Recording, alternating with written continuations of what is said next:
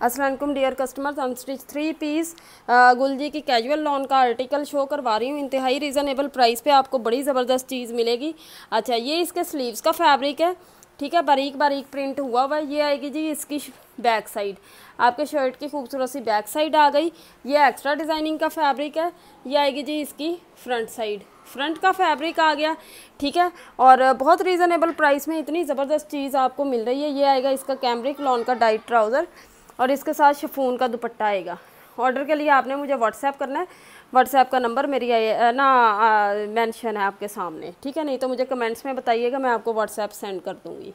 ये ले।